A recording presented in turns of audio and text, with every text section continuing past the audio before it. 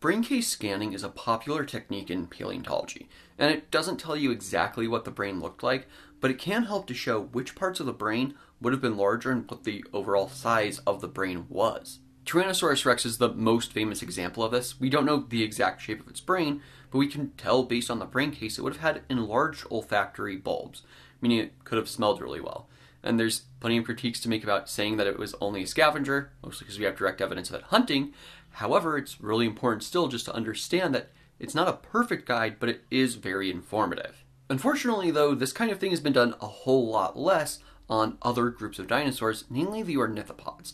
There have been some work done on certain types of iguanodontians, but one group that's been pretty unlooked at is the Thescelosaurians. Thescelosaurus and its relatives are small-ish bodied ornithopods. And when I say smallish, Thescelosaurus is one of the largest and it would have been only about 4 meters long or around 12 feet in length. They weren't the massive giants that other groups of dinosaurs had. And it's also been suggested that some of these may have lived in burrows, and the scans of Thescelosaurus's brains actually does help to support this at least somewhat. And there's a few different ways it does this. One of them is it had a slightly reduced hearing range compared to other ornithopod dinosaurs, so there were just certain sounds it wasn't as worried about hearing. This potentially goes in line with it having a smaller EQ or encephalization quotient, essentially how big was the brain relative to the body size. And it is in some ways a measure of intelligence for certain animals, and it potentially just means in this case that Thescelosaurus wasn't moving around in giant herds like some of the other ornithopods seem to have been doing, at least on occasion.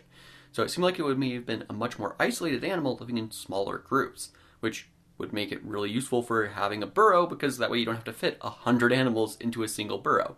You can fit maybe five with some of them being juveniles. This also means they wouldn't need as much of that vocal acuity and hearing different ranges because they wouldn't need to be calling to each other as much. It's a lot easier to keep track of five animals than it is a hundred animals in a herd.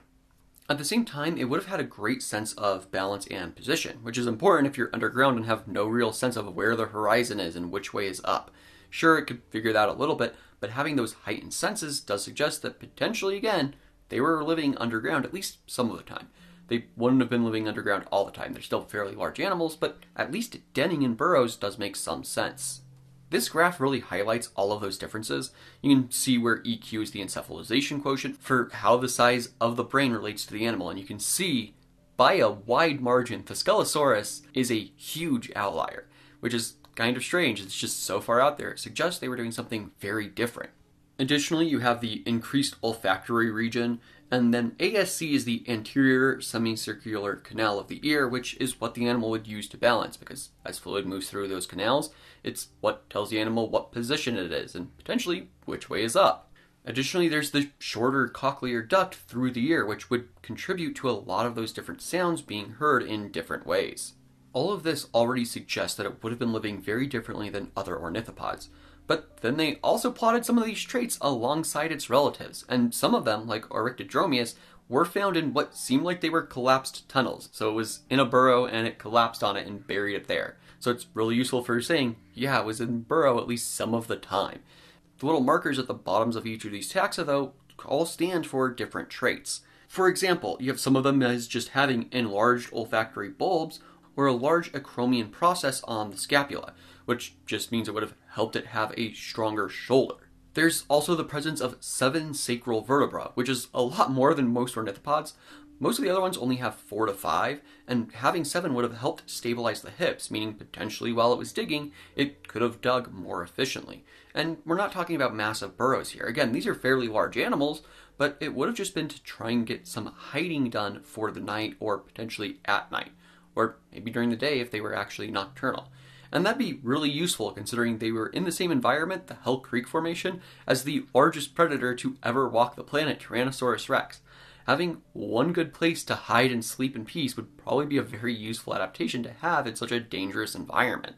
So, based on the brain scans of Thescelosaurus, it does seem like there was one very specific group of ornithopods that were actually burrowing at least some of the time, and certainly not permanently the way like moles do today. Instead, it would be much more semi fossorial, they would go in den and then come out when the gooding was good. But that's still really important to understand that there was a lot of diversity in the different ways that dinosaurs tried to live their lives. It's also really important to understand that we have evidence of this. It's not just some shot in the dark guess.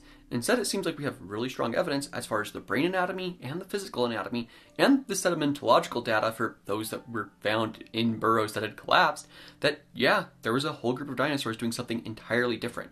And that evolutionary pressure changed them for it.